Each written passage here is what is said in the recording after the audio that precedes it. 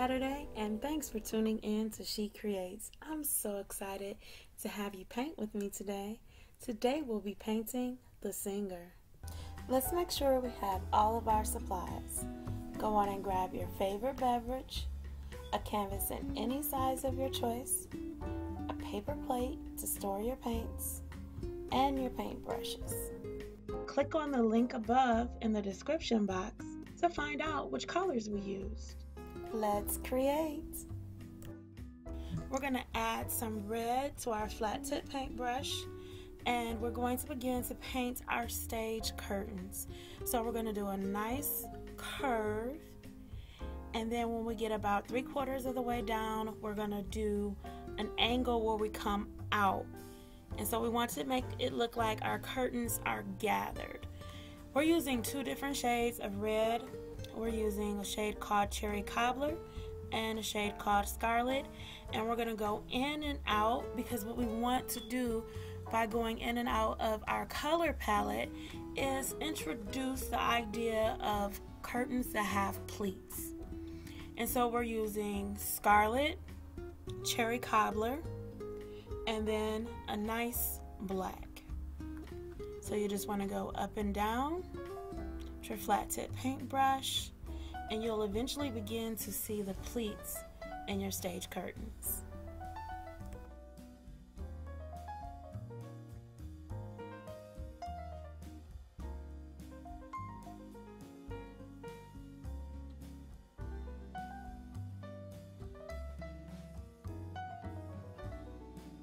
So we're looking good. We want to make sure that we do the same thing to our other curtain.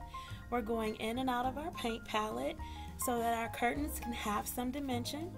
And you know, if you only have one shade of red, no big deal. You can actually mix it with a little bit of black or perhaps even a little bit of white to give you three different shades for your curtains because we definitely want them to have dimension so that we can see our pleats and begin to sense the movement.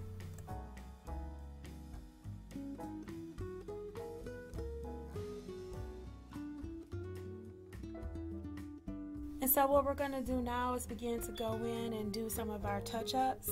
And if you kind of step back from your painting, you almost get the sense that the curtains are starting to open up and the singer is getting ready to take stage, which will be our next step.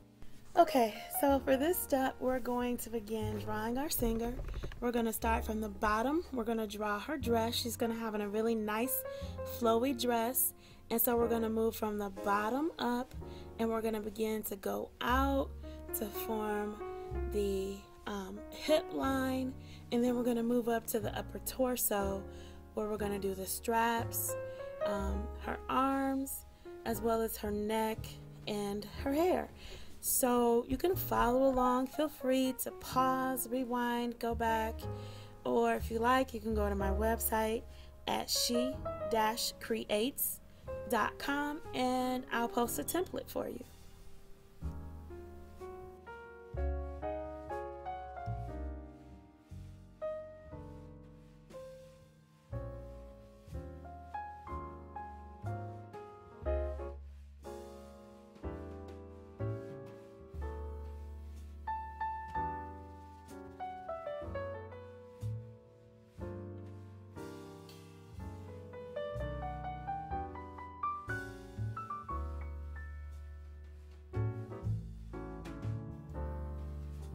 So I'm going to use these two lines that I'm going to make on both sides of her dress as sort of like a guide because I want her dress to be really, really flowy, um, sort of like a chiffon look to it.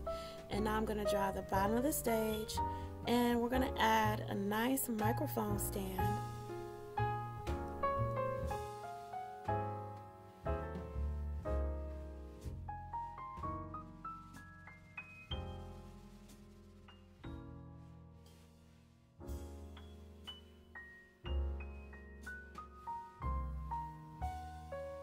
So I'm going to add a little bit of pink to my detail brush, my small detail brush.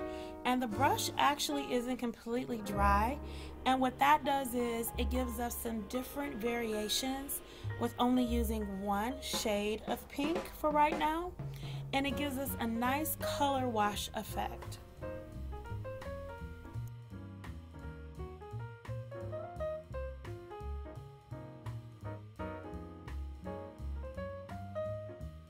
So we just want to continue with our nice, short, quick brush strokes. And you can almost begin to sense the spotlight radiating, bouncing off of her dress, giving us those nice different variations in our shade of pink. Now we're going to go in and add a darker shade of pink. This is actually a little bit of fuchsia. And you can really design your dress however you like. You might decide to go with polka dots or something else or maybe a different color altogether.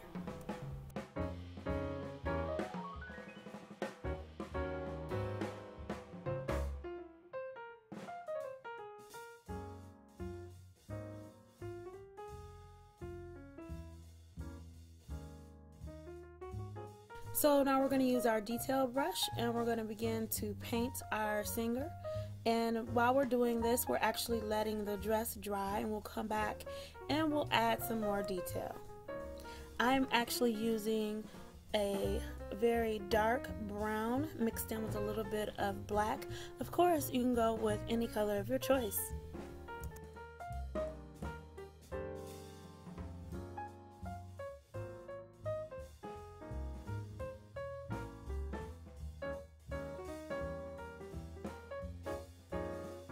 So now we're going to take our flat tip paintbrush and a nice shade of dark brown and we're going to begin to paint the hair of our singer and we're using the lines, the waves that we made in her afro to outline it as a guide but we're not too worried about staying directly in the lines.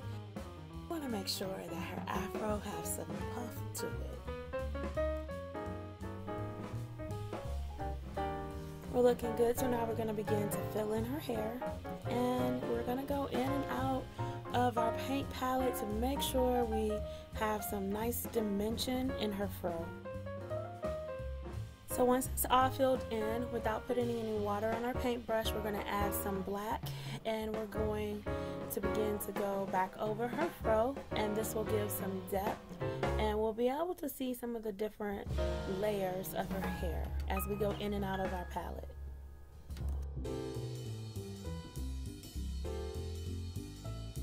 So we want to begin to add a little bit of um, dimension to our hair. So we're just going to kind of go in like a swooping motion. And we're doing that with the paint that's still wet to bring in some texture. And then we're going to gradually begin to add some white in. And that white is going to mix in to give us some different shades some different levels of the brown and of the black. And then we're just going to continue to go in and out of our paint palette. And you'll almost begin to feel the light hit her hair and we'll begin to see different highlights come through so your paint is still wet and you're just going in and out of your paint palette sort of like in little swirls all right, so her fro is popping. So now we're going to paint our um, microphone and we're just going to use our detailed brush for that step.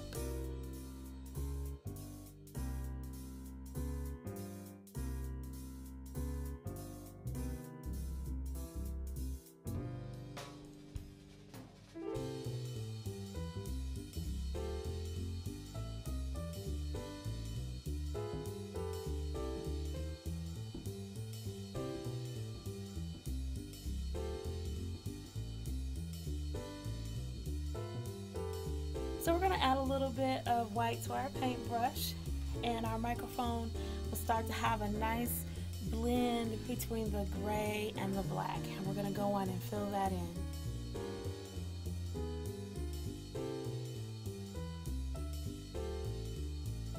While we're letting our microphone dry, we are going to add some fuchsia to her dress. Um, again, you can go with any color of your choice and I'm to give her a nice little waistband. And what we're going for if you're following along with me is a nice chiffon overlay. And so we're to go in and out of our paint palette. We're to be using the fuchsia with our pink a little bit of white and a little bit of purple. Of course, you can go with a different pattern or style to your dress. Maybe you'll want to use the tip of your paintbrush and add some polka dots. Whatever you like, it's to your liking.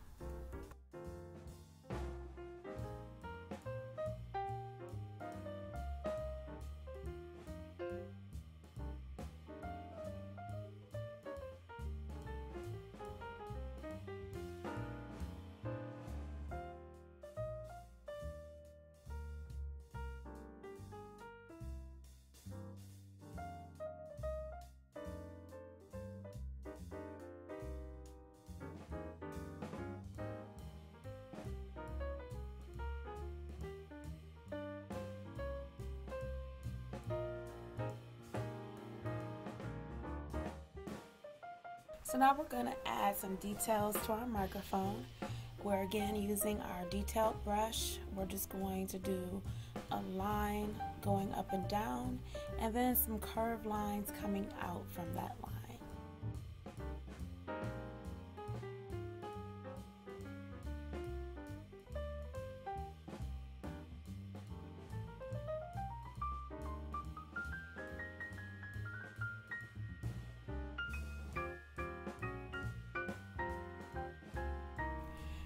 Great singer has an audience, so we're going to take our small detailed brush and we're going to go in and out of our paint palette.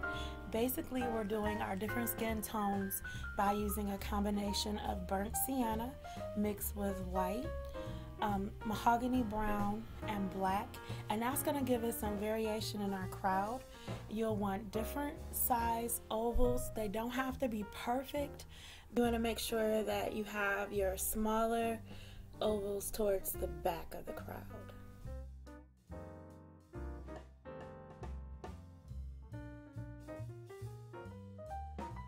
You want to make sure that you have a nice amount of ovals which will represent the faces in the crowd.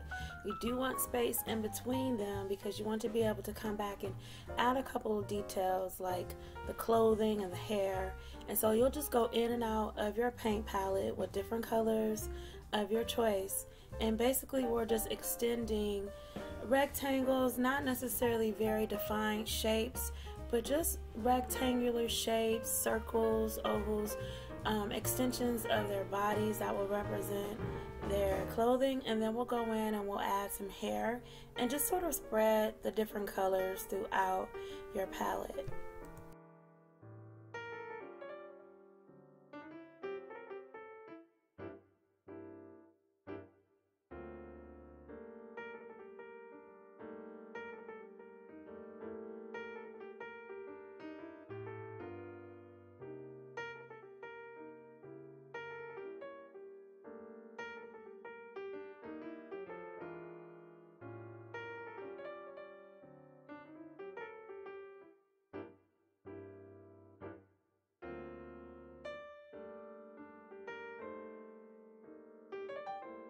Okay, we're going to continue to go in and out of our paint palette with various colors to fill in our audience. And after we get our different ovals representing the faces, we're going to go in and out of different shades of gray and a little bit of black just to add some more um, detail and to um, fill in some of those gaps, some of those white spaces in our canvas. We're going to add a little bit of gold to our detail brush and we're going to add the ropes to our curtain. And we're going to do that on both sides.